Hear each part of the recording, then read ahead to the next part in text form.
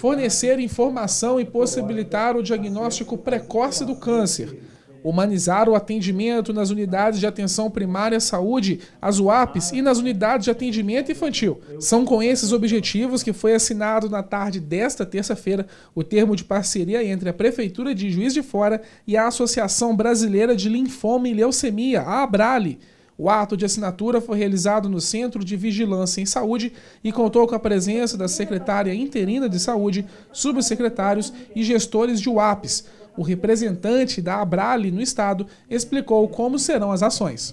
Essa parceria é a primeira no estado de Minas, né? Nós estamos abrindo aqui as portas para um plano piloto, né? Que a Abrale é, futuramente vai construir no país todo, que é a disseminação de informação junto às unidades básicas de saúde.